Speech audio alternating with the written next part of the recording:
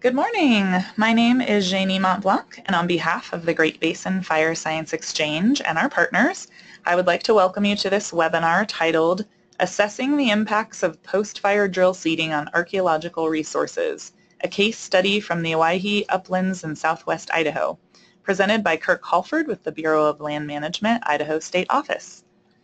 Before I introduce our speaker, I will go over some webinar details.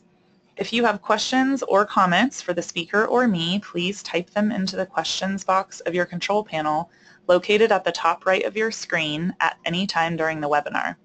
I will field your questions to the speaker after the presentation. I also want to let you know that whatever you do in your control panel does not affect the webinar, so you're welcome to type a test message or test your audio at any time during the webinar. If you're having problems with your audio, please open your audio box and check your audio selections. Now I would like to introduce our presenter. Kirk Halford is the Deputy Preservation Officer and State Archaeologist for the BLM in Idaho. He received his undergraduate degree from the University of Colorado, Boulder, and a graduate degree in anthropology from the University of Nevada, Reno. He is in the 28th year of his career as an archaeologist and has been with the BLM full-time since 1994.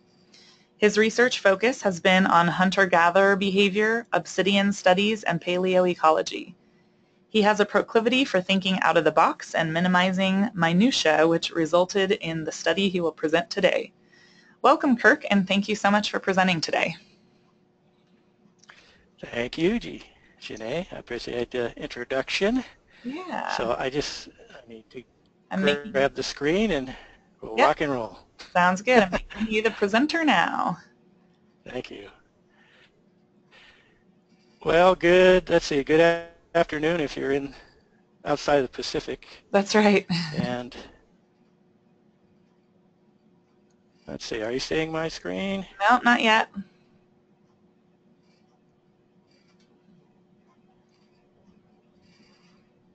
There we go. There we go. Oh, we lost it. Okay. There we go. There. Are we good? Yeah, you want to put it in... Um, I paused it. Is that uh, causing the problem? Okay, there we go. Uh, it's in... Do you want to put it in slideshow mode? All right. Yeah, hang on. Let me... Okay. See my...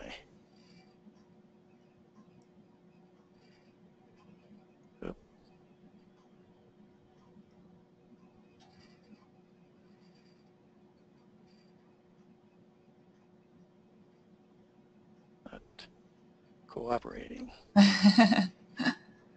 you can also use... There oh, we There we go. there we go. Great. All right, let me dock this thing.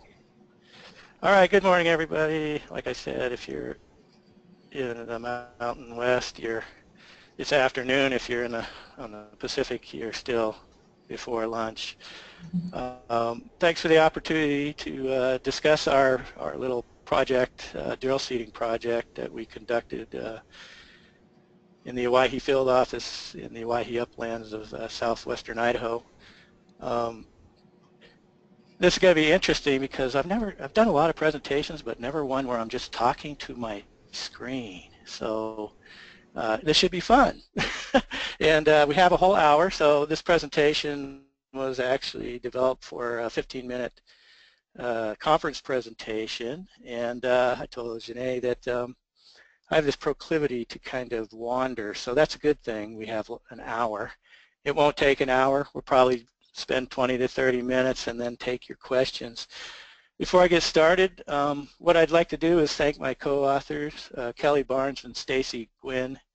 Kelly uh, really uh, did all the heavy lifting on the field side of this project, organizing crews and getting the needed field work done. And Stacy uh, dealt with me continually for the last six months uh, as I dropped references on her desk and said, read this and see if it fits our study. And uh, so I really appreciate all the work that uh, we've put into this, this project to make it a good outcome. Also, uh, the BLM cadastral crew uh, assisted us with the project. Uh, they were a joy to work with, and I think they really enjoyed working with us and learned a lot. Also the Idaho SHPO who was willing to entertain this project as well as the Shoshone Paiute tribe uh, who had actually expressed um, concerns about flag and avoiding sites because of the fact that uh, it highlights them on the landscape and we end up having issues with folks uh, going out and uh, doing a little bit of pot hunting. So, and also the ESR folks who were willing to fund the research. When we started this project, we had hoped that we could do a contract, but as all of you know that uh, are engaged with ESR, it's a very reactive undertaking and generally we don't have time to get too many contracts out the door, especially to do the types of study that we were talking about. So we ended up doing it in-house, um, which obviously uh, we, requires a, a lot of work, but I think we all benefited greatly from the effort.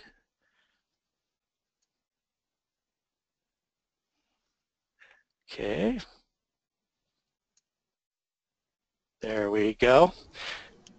So uh, I'm just going to give you a brief introduction about uh, the study area, talk about ESR projects and protocols, discuss rangeland drilling and seeding, and then uh, talk about the pre previous research on the effects um, to cultural sites from drilling and, and other applications, and then get into our methods, results, and, and a discussion So the Soda fire occurred in the summer of 2015, burned nearly 300,000 acres in southwest Idaho and a little bit of southeastern Oregon. Um, it was proposed to do 20,000 acres of drilling. And ESR, as always, and I know there's a few archaeologists on the phone, I'm sure there's a number of ESR folks too. ESR folks are probably hoping that this study will like uh, exempt us from doing any further survey. And the archaeologists are probably on the phone because they're like, what are you guys up to?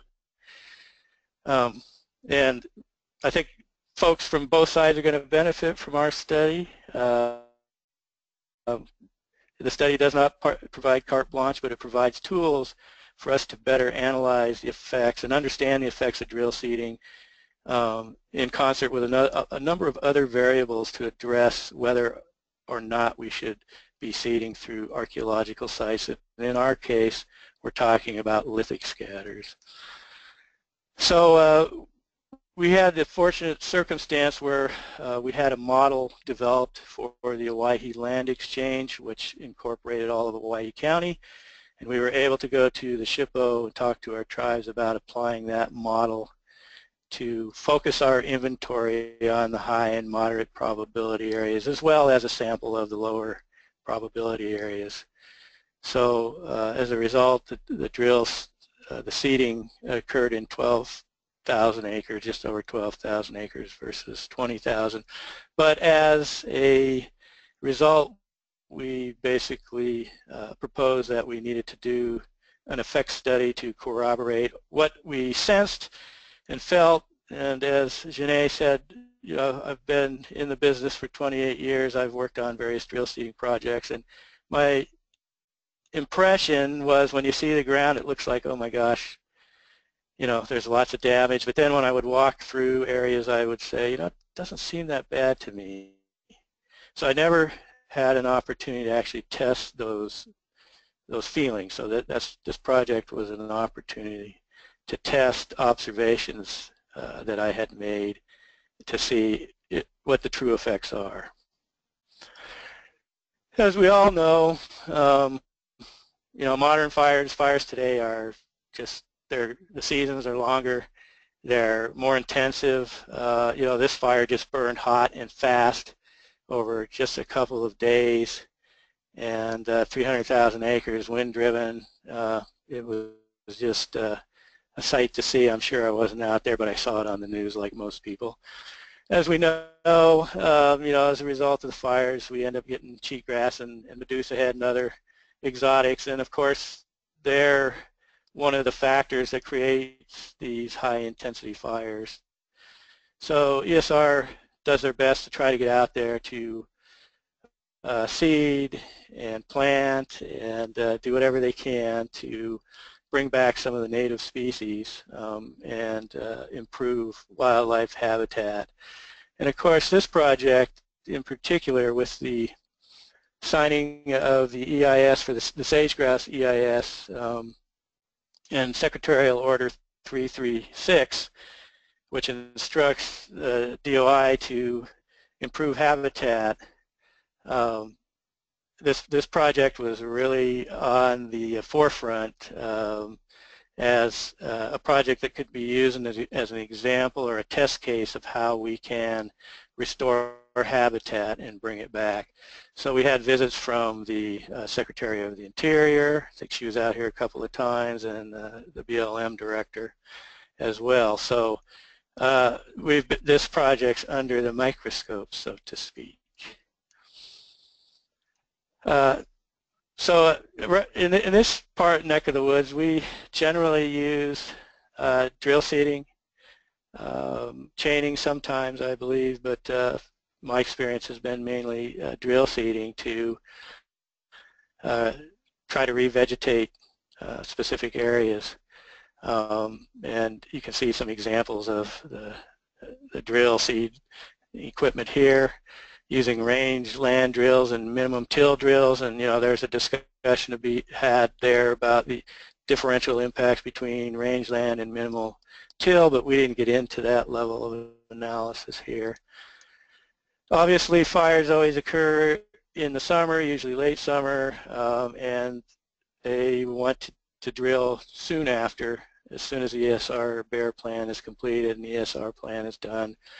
And generally in the fall is when you need to seed in order to have success so, so you can have that winter moisture. For cultural resources, our general approach has been to flag and avoid archaeological sites. And, you know, the, there's a lot of reasons for that, and it's not because archaeologists are trying to be obstructionists. It's because we don't have time to actually do an analysis um, because these projects happen so quickly. It's, we're in a reactive mode. And so there's really no opportunity to kind of sit down and, and think about the types of sites in the project area or go out and do an inventory up front and and then categorize sites and then determine areas where you can drill and areas where you might have issues with historic structures or features HARs and, and house pits and things like that that you, we probably don't want folks drill seeding through. Um, so that hasn't really given us too much of an opportunity to really address the effects. And I like this picture because if we look at it, you can see that uh, there's not a ton of uh, impact from, in this particular circumstance, from drill seeding, and I'll talk a little bit more about that uh, you know, we, we've tended to approach this with the perspective that seeding is going to have adverse effects to uh, historic properties or sites that are eligible for the National Register. Um, and as I said before, there hasn't been a whole lot of research, but uh, there was a paper done by Brian et al. in 2011. Um, it received mixed uh, reviews, mainly from archaeologists because the folks that did it weren't archaeologists. However, their experimental design was a pretty good design, and I think uh, that it was a good study, and actually our study has fairly well corroborated what they found. Uh, Harmon took a look at uh, the effects of not drill seeding. Um, he wasn't actually looking at drill seeding, but the erosional effects of not drill seeding. And Robertson Landon uh, uh, looked at a mix of different applications uh, just recently. That paper just came out. We got the first copy and we're told not to uh, not to cite it until I got we got the permission. So there it is. It's hot off the press. So what uh, Harmon found was the, the failure to actually establish ground cover created adverse effects to sites because of erosion, um, deflation, wind erosion, water erosion, and, and things like that. Um, he felt that uh, the reestablishment of vegetation could could mitigate those impacts, and the study that uh, Roberts at, and Landon did actually corroborated that. Um, and uh, so, you know, there's a chance, and one of the things we need to consider when we're looking at this is, you know, what are the differential effects to sites? What, you know, other than just drill seeding, you know, the fire effects, the post-fire erosional effects, the long-term effects. And um, so it's, it's a mixed bag of uh, variables that we need to consider when we're trying to determine the effects to a site. It may be better to actually seed a site and drill through it and less impact than it is to flag and avoid it. And I think this our study had shown that that to be the case. Um, as I said, Robertson Landon, they, they essentially corroborated Harmon's conclusions. Um, they revisited 153 sites at the Milford Flats, which was a huge fire in Utah that burned over 300,000 acres, and they did a full inventory. During that inventory, they recorded close to 800 sites, and they used various treatment plans based on the eligibility of the sites. What Robertson Landon did is they went back to a sampling of the different treatments and they found that in many cases those sites that weren't treated had more impact than those sites that were treated. So, and here's one of the effects. Um, you know, when we flag and avoid, we end up stranding sites, uh, which gives collectors, a, a, you know, the green, the flashing light to uh, there's an arc site there. You know, once they figure out what we're up to, they know what's going on. Of course, we when we flag, we end up doing it before they drill, and then there are time, you know, sometimes it's difficult to get back out there and remove the flags right away. So you can have a site flagged on the environment for a couple of weeks, and you know, just a couple of hours of uh, a pot hunter walking through a site, and all your projectile points are gone, and diagnostics are missing. So, um, you know, this is a good example of that stranding effect. So as I said, you know, we need we need to look at the variables um, of the types of impacts that can occur, and our uh, our local tribe, the Shoshone Paiute, had brought has brought up to us a number of times that they they have been very concerned about the flag and avoid approach, and so they were very supportive of this uh, investigation because their their feeling too after going out and, and looking at sites and monitoring was that the drill seeding wasn't having a huge impact especially on sites uh, like the ones that we study, lithic scatters. Now if there's uh, ceramics or pottery or HARs with midden deposits and bone and things like that, then the tribe would have a different perspective. But in the Owyhee uplands where we did our study, roughly, I would say probably 80% of the sites out there are lithic scatters, and you don't have uh, HARs, and, and most of them uh, are going to be surface scatters.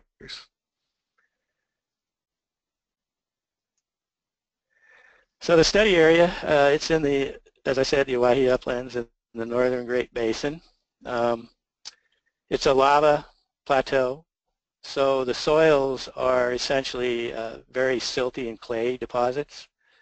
Um, and soils are an important factor in determining, you know, the types of impacts that you're going to see. And I'll go into that in a little bit more detail.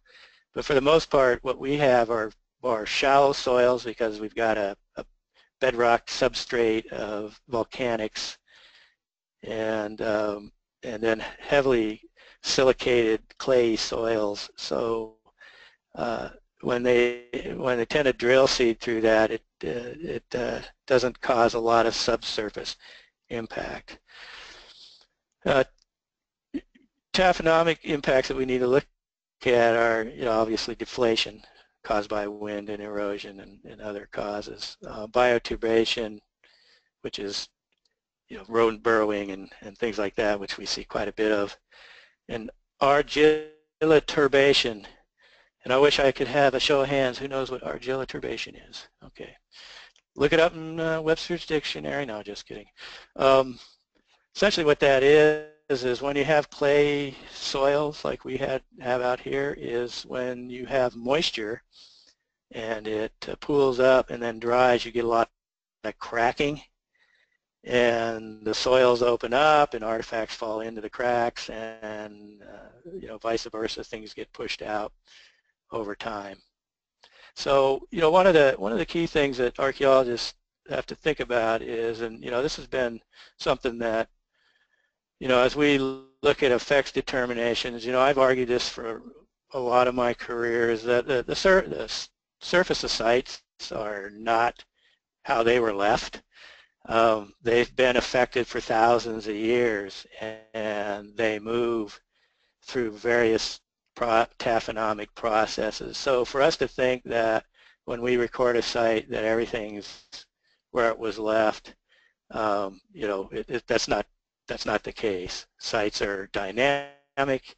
You know, they, they generally stay in a general, you know, configuration with loci and uh, activity areas and things like that, uh, but things move.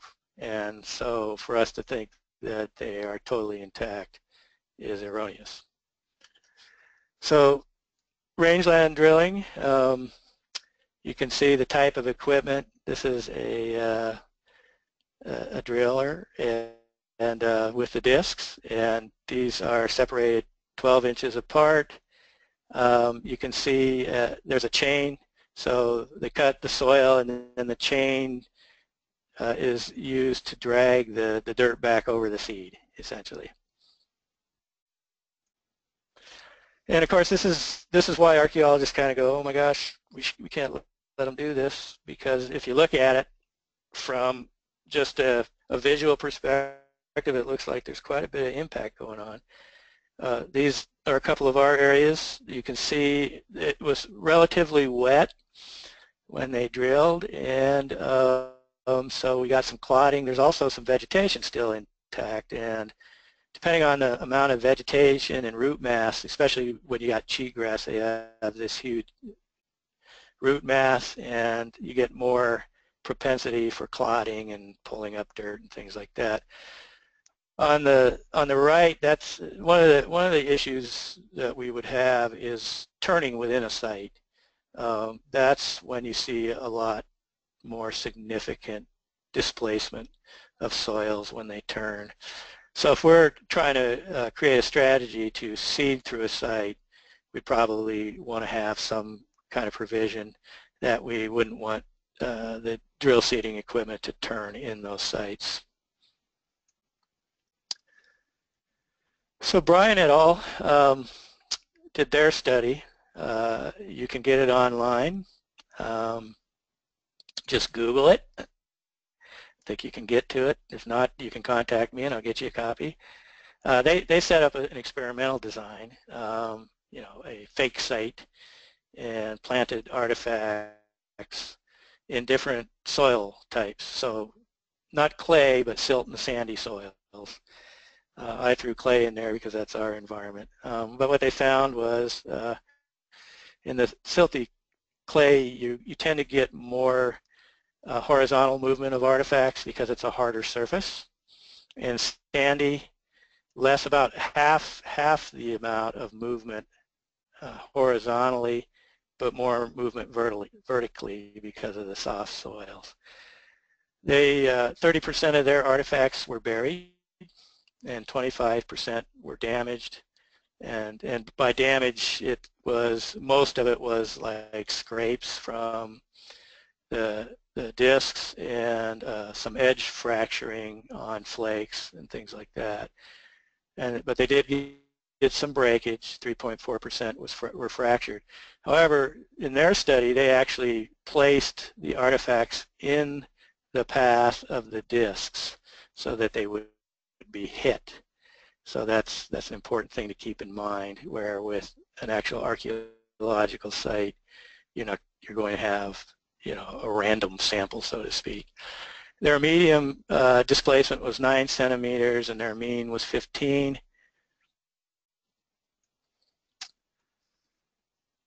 So as I, I mentioned this already, the Harmon study, um, and uh, that's one that you can also get online, I believe. Uh, it's, it's in a publication. Um, he actually went out and placed uh, 20, he, he, did an experiment on 28 sites with, with metal washers so he could use metal detectors to refine the artifacts and he found that there was very little minimal movement from drill seeding that most artifacts, uh, if he couldn't find them, they were buried. Um, and so that was his conclusion. And then, as I said, Robertson Land, and they basically concluded that post-fire erosion can harm the surface artifact scatters as much or even more than drill seeding and chaining. Um, so, but we weren't satisfied with that. We didn't feel like we had enough research, and so we dug into the plow zone archaeology literature, which there's a ton of it. Um, and uh, you know what we what we were what we found was that uh, their um, analyses essentially corroborated our our hypotheses, which is that uh, plowing has, even though on the surface it looks like it's having a significant effect to a site, that it's not as uh, as uh, you know problematic as as we would consider it when we look at it visually. Um, and uh, you know, some of these studies have done numerous uh, rep repetitive uh, plowing through sites to test their hypotheses. And generally what they have found is one pass is, uh, has almost no impact to a site. And in fact, uh, quite often what happens is that more artifacts show up after plowing than you originally find when uh, when you, you first record the site. German's study, uh, which was his uh, PhD dissertation, looked at a site along the Columbia River, and he uh, shows very well how many artifacts uh, were revealed as a as a uh, result of the plowing versus uh, those getting buried. And you know, you could your perspective could be, well, that provides more for pot hunters and things like that. But they, I guess the moral to the story is the sites are dynamic, artifacts are moving all the time. Robertson Landon and, and any of you that have done archaeology for any number of years know that every time you go back to a site you find more and quite often you can't find the stuff you recorded. So that's just the nature of it. Um, things are very dynamic and they move around just from one wind event, uh, one cow walking through or elk or uh, pronghorn or, or whatever, rodent burrows, those kinds of things. So this is a study that was done by Yorston um, where he actually did a couple of year study, but then he also, based on his study, did a computer simulation. And to show you have a, an archaeological loci concentration of artifacts. And after a couple of passes it was essentially the same. Uh, and then his simulation showed that it would take about 20 years to disperse the the concentration in 50 years you know it becomes not totally amorphous but uh, a lot less concentrated so so based on that, we felt pretty good that, you know, our study was going to show that uh, drill seeding was probably not having as much impact as we generally anticipate.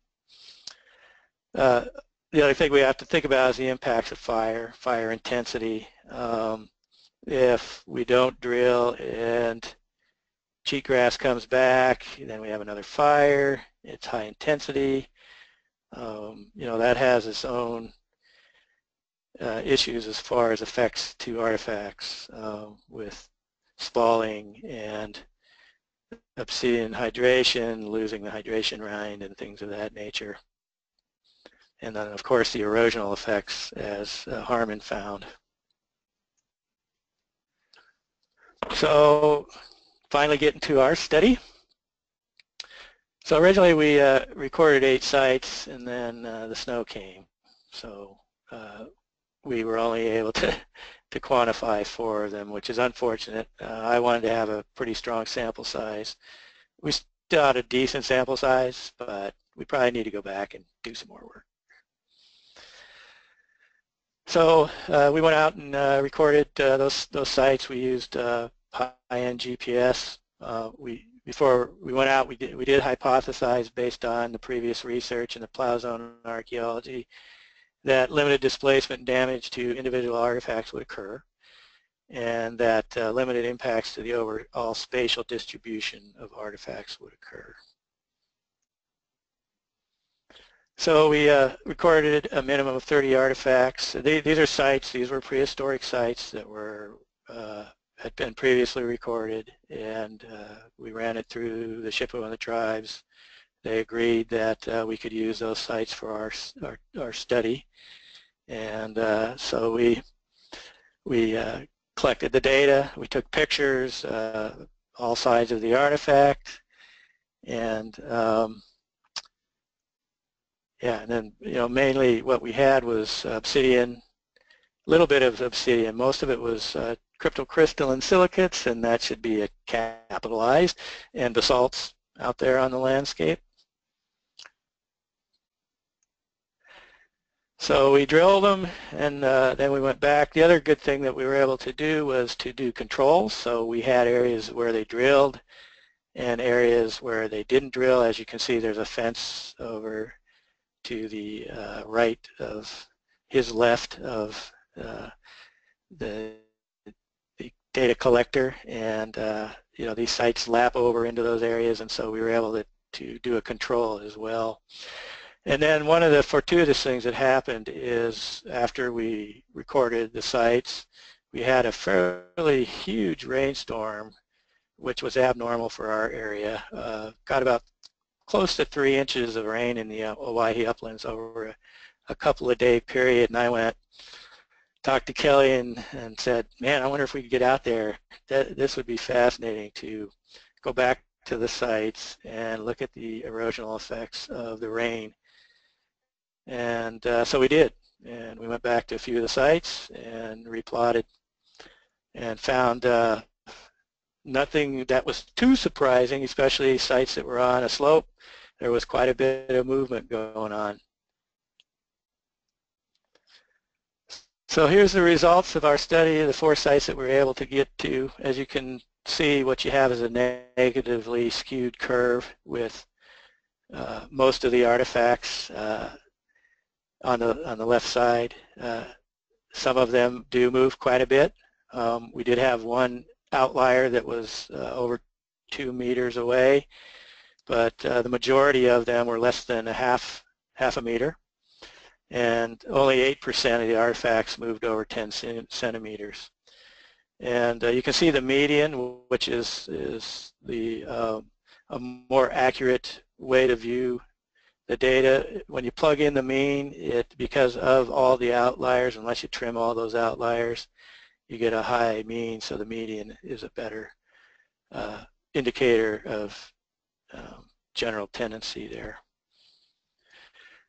This uh, scatter plot really kind of shows the picture. So you can see how the artifacts are clustered around zero and underneath uh, below 10 centimeters. And I, I, so for every, all you archaeologists, pull out your tape measure and look at 10 centimeters. That's four inches.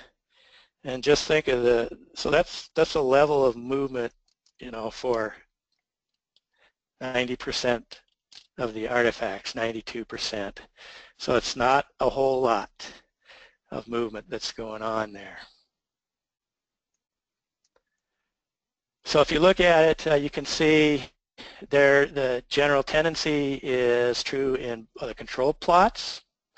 You've, you've got some uh, movement up to 14 centimeters in the in one of the plots and uh, the, the rain event. Uh, so, you know, the curves are relatively close to one another. And uh, you can see with the, the treated and the control in rain that uh, it's, it's not that great of a difference, but you do have a few artifacts, again, less than 10% uh, that move um, farther than 10 centimeters from the datum point. So this is a, a nice illustration of um, the movement at, at one of the sites where we had rain. So the, the green dot in the center is the uh, normalized point from which all of the differential uh, distances are measured from. And you can see the yellow uh, squares are the rain movement and the red triangles are the drill seeding. So you can see there's quite a bit of movement from the rain that occurred um, before the drill seeding actually happened. So it's very il illustrative of the fact that, you know, the, the sites, the surface of sites are not where they were placed when they were created. This uh, shows, you know, from an archaeological perspective, if you're looking at a 10 meter scale, that you can really not tell that there's not much difference between the initial point, which is underneath uh, in almost all cases, both the rain and the drill seeding application. And then if we actually did an archaeological map um, at a 1 to 1500 scale, you can see that there's generally no no viewable differentiation. So this is uh, one of the, the uh, sites that uh, we treated. This is the before treatment. This is the after treatment. And you can see um, because of the clay soils uh, that there's just not a lot of impact.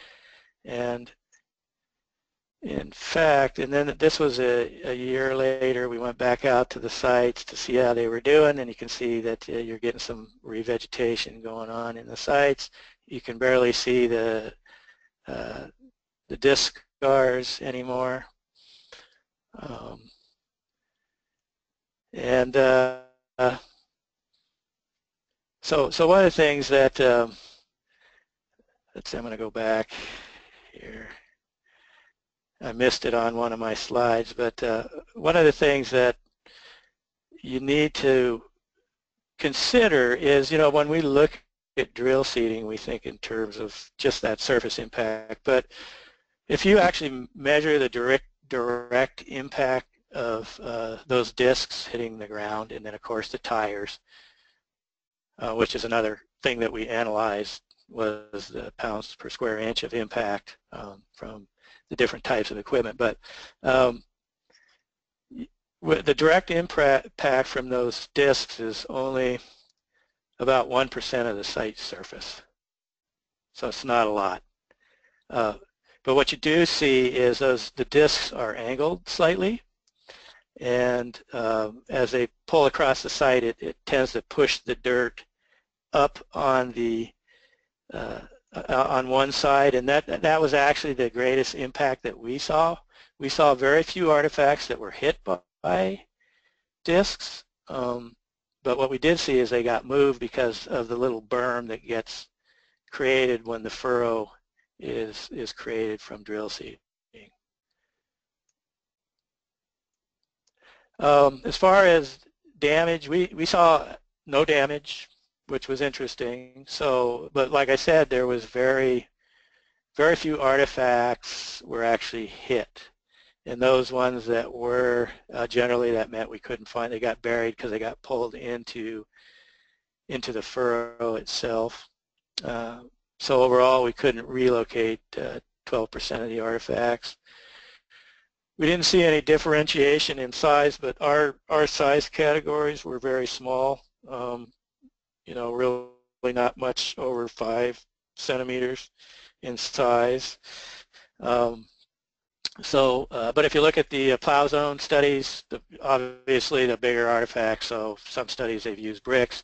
So if you add monos and metates and cans and things like that, things that uh, the discs can grab, um, there's going to be more displacement for sure in those scenarios. So essentially what we found was that there was minimal uh, displacement of the artifacts, both vertically and laterally. Um, there was no change to the site boundaries and the spatial distribution of the artifacts. Um, in other words, if you had if you had a loci, an activity loci, a reduction area, or biface thinning loci, that it didn't change the characteristics of that so that you could still interpret that as, as what it was. And our study, our displacement was about about half of what Brian Fell found. And the reason why is because, again, we did a random study where he planted his artifacts in the, the uh, right in the direction of travel and, and in the, the disk line of travel. So for us, the management implications is that uh, the, this drill seeding in, in the environment that we're working in and the types of sites um, had really no impact to our ability to record and evaluate those sites and their constituents. Um, it, it, doesn't change the characteristics of the site that would contribute to a, a site's eligibility. Um, and therefore there, there isn't any significant impact. And if you did have an eligible property, it would be very easy to make a no adverse effect determination if the site was eligible for the National Register. And, you know, we haven't talked about subsurface versus surface. Um, you know, drill seeding applications are surface applications from an archaeological perspective. You know, we, we tend to think of the surface of sites as the top 10 centimeters and drill seeding only affects about uh, the top five to six centimeters of a site.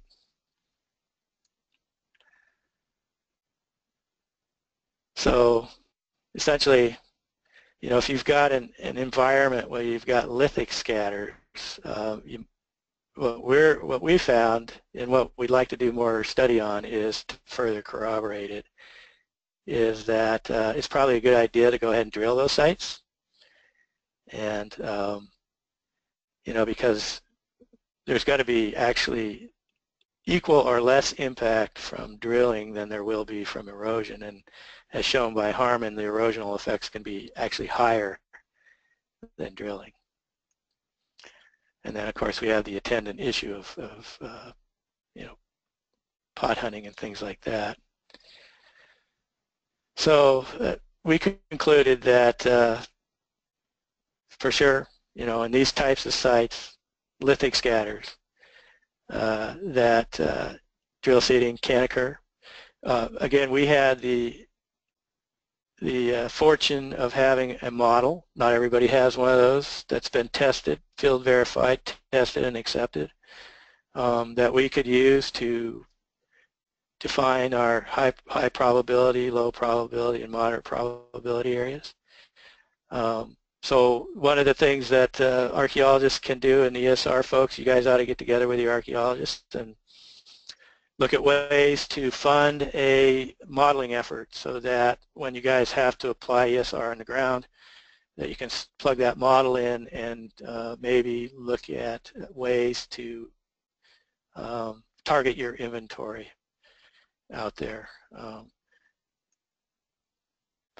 so what we're calling for are uh, similar studies to be done in other environments. Um, we're looking at one environmental uh, ecotone or ecozone, uh, you know, volcanic plateau.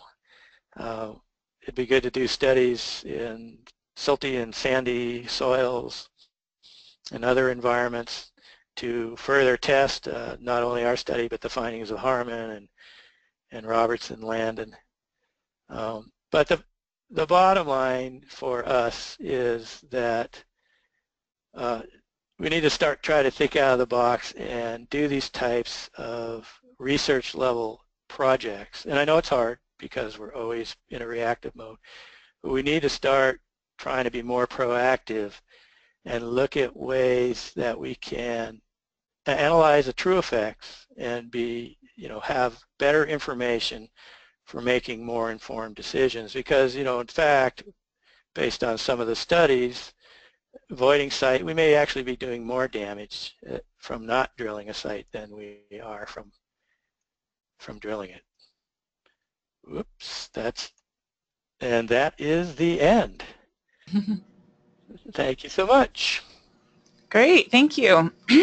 uh, so if you have questions for Kirk, please type them into the questions box in your control panel. Do you want me to leave this slide up or? Yeah, that would be great. Thank you. I'll put the first one up. How's that? Perfect.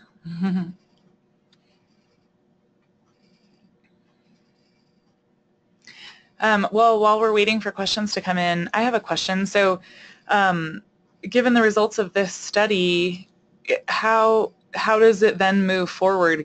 Are you now allowed to, can you make the decision to just go in and drill seed or does there have to be a policy change? How does it work moving forward?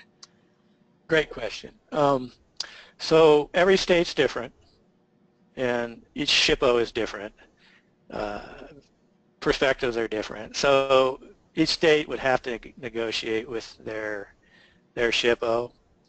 Uh, um, you know, in our case, as I said, we had done this uh, modeling effort and in conjunction uh, with the state uh, for a land exchange. And um, so the SHPO was on board uh, with the modeling effort, which was a three-year process that we was tested and vetted so we, we had that good fortune. Now that we've, we've done this test, we're able to go in and use the modeling in the Owyhee County, not across the state, because we don't have the model across the state, although we've created modeling tools that we can use across the state. So anybody in Idaho, just come talk to me and we can help you out. But um, essentially, uh, now we can make more informed decisions about where to target our inventories and maybe do more sophisticated analysis of the sites that we do record as a result. Um, so, you know, instead of going out doing 100% class 3 in a of 20,000 acres um, as, the, as the, the drill seeding equipment is chasing at their heels, uh, you know, we might be able to get out there and, and, target and focus in and do a lot more meaningful and uh, uh, careful recordation of sites. So in Idaho, um, we're in much better shape to make decisions up front and based on this study and the modeling that we have. And you know, the interesting thing is this this burn occurred in Oregon and Idaho. Oregon's not willing, and Kelly Barnes uh, might be able to answer this better than me, because uh, she's been working in Oregon recently, soon to come back to Idaho. But um, the Oregon SHPO doesn't.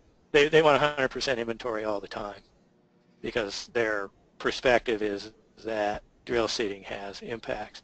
The bottom line for us is that we, if you believe in the studies and you support it and you want to be proactive, and spend more time on what's important versus minutia, then you need to make the case with your constituents that there are uh, better ways to approach how we do business. Great, thank you. And just really quick for um, anyone who might be new to this subject on the webinar, can you tell people what a SHPO is? The SHPO is the State Historic Preservation Officer. They are created under the National Historic Preservation Act, which is the act that archaeologists, Section 106 of the act, is the section of the act that requires us to address the effects of undertakings on historic properties, those properties that are eligible for the National Register. The SHPO is uh, created through the Act to provide oversight and advice to the BLM. So it's, it's an interesting relationship. It's a state entity that provides oversight to a federal agency. So when we when we do a pro, each state has SHPO has requirements for how sites be recorded and data collected and how things are analyzed for the National Register. And, um, and so every time we do a project, we have to uh, send all our information into the SHPO, talk about the effects of the undertaking, and you know they either concur or disagree with how we've done things and so so that's why our process takes quite a bit of time we have lots of partners including tribes that have a very strong voice in cultural resources protection great thank you very much all right, Aaron Woodard asks, your study noted that no artifacts were damaged during the drill seeding. Did you do a lithic analysis or was it the visual appearance of lithic material? Well, we didn't, we didn't collect anything, so she means did we take them and put them under a microscope? We did not, um, but it was all so it was all visual in the field. There was no breakage, um, and we took so we took all the pictures out and the, the measurements and everything out to the field, and uh, there was no evidence of scarring. As I said, most of the artifacts were not directly impacted. And so, you know, 12% we couldn't find, so we can't speak to those. Those were probably the ones that got hit by discs or chained. And, uh, you know, I, I, assume that some of those uh, had some breakage. Okay, great, thank you. Daniel Snyder asks, Hi Kirk, did you have any funding for this project or was this conducted during the normal course of your work? Thanks and great research. So that, that's a great question. Uh, and th this is where it gets at to being more proactive versus reactive. When ESR came to us and we proposed that we could use the Owyhee model to focus our inventory, one of the, the, the negotiating points was, but we need to study the true impacts of drill seeding. And so ESR actually put in $100,000 for our study uh, with the anticipation that we would contract it out. Uh, we didn't do it externally, so we probably saved, you know, the taxpayer 75, 50,000, 75,000 dollars because we did everything in-house. They essentially paid for our time, but uh, that that was the brunt of it. So, uh, I, I, and I, you know, for those archaeologists and ESR folks on the line, you know, it's just there, there are a lot of opportunities to you know think out of the box and do these types of studies um, and you know it's it's tough because in my career I've talked to ESR folks about doing these types of things as well. We don't we don't fund research but the amount of uh, money that it can save in um, doing inventory because we just don't have good data and we're being reactive. If, if we can build the database, if we can create models, if we can create studies like this and, and build up uh, the database so that we have a better understanding of the real impacts, then we can end up saving literally millions of dollars. So it's just getting creative and being willing not to do things the way we've always done it and think out of the box a bit. Great, thanks. Um, and just really quick to go back to the last question um, about the uh, lithic analysis, uh, Kelly Barnes uh, chimed in that it was the, it was a lithic analysis and three photos taken, three photos of each taken to the field. Okay, Next question, Aaron Woodard. In the plow zone studies, they noted significant displacement happened at 20 and then 50 years. Was that with one pass each year? Yeah, essentially over, yes, 20 years. Yeah, that's that's how he did his simulation. So assuming that you drove through the site each year. Okay, great. Thank you. Um, Joelle McCarthy asks, how did you involve tribes and consulting parties? Well, tribes, we up here we meet regularly with our uh, with our tribes and uh, the Shoshone Paiute, like I said, we're really an impetus for this study and uh, very supportive of, of the study. Um, and then, you know, the ESR process of uh, go, going through the environmental assessment and, and doing what needs to be done, um, you know, with, with consulting parties. uh, as most ESR work that gets done, you know, it happens so quickly. There's not a lot of time for public input. Um, but uh, you know, in this case, we felt pretty strongly about our convictions. At least I did. Um, that drill seeding really isn't having as much impact as we felt, and so sometimes you got to take some risk. And you know, people might get angry, and some people are. I'm sure when when this paper first came out that we produced, we sent it got sent around, and I, you know, some of the state leads were getting emails, freaking out. People were freaking out that what are these guys doing? Um, but you know, we just we just told folks go read the paper. Don't look at the conclusions. Read the entire study. you know, we're not advocating that we're not drill seeding.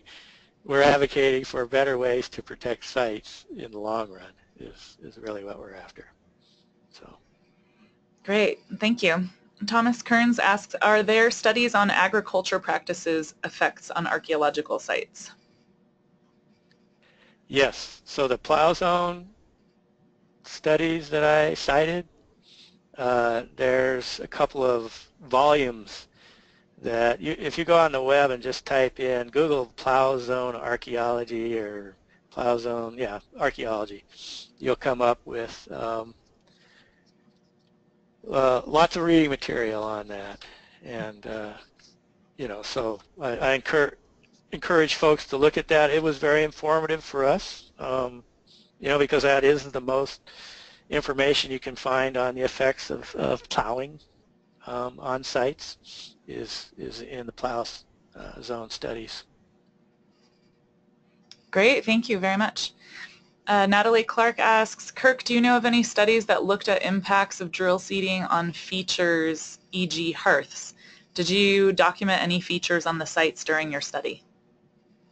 No, that's a great question. Um, and so here's a caveat with our study is we focused on lithic scatters and sites that were we we felt were surface sites, even though we don't believe that there's any significant subsurface damage. We purposely stayed away from areas that we knew were high probability for house features and living floors and things like that that is uh, that is something that needs to be analyzed. Um, and that's going to be a little bit more difficult because when you have hearths with bone intact and radiocarbon, uh, you know, possibilities, um, you, you, really don't want to be disturbing those. And so, uh, you know, so what we're what we're trying to say is those sites have to be avoided. Um, However, you know, we need to look at it. Uh, we, we don't know until we actually test it. Um, but, uh, you know, I, I, certainly myself would be leery to uh, drill through a site that's a residential site that has, you know, features and hearths. And, and so, you know, in Idaho we have kind of a unique situation. And, you know, it's going to be different in every state. You know, you go to Utah, for instance, where you got all the Pueblo and, and New Mexico and Arizona where you know you got you got lots of uh, structural features. I mean, it's pretty tough to drill. See, of course, those sites aren't generally in the bottoms either. They're up in the rock faces and things like that. So you just have to look at all those variables.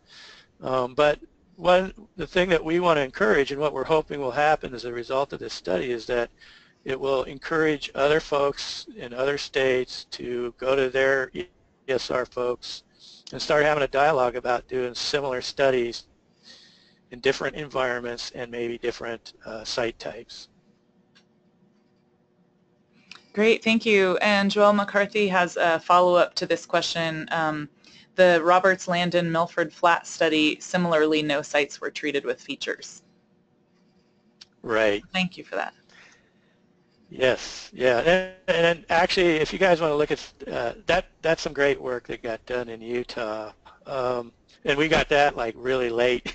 it was it was like hot off the press, um, but fortunately we got it. But uh, they did a, a, a really nice study um, before the fire, before the I mean the seeding, um, to to record sites and then make management decisions about what sites to drill through based on eligibility and what sites not to. Uh, a, a report done by um, Danny McMullins, um, at Logan Simpson Design, and uh, you guys should be able to get that from BLM.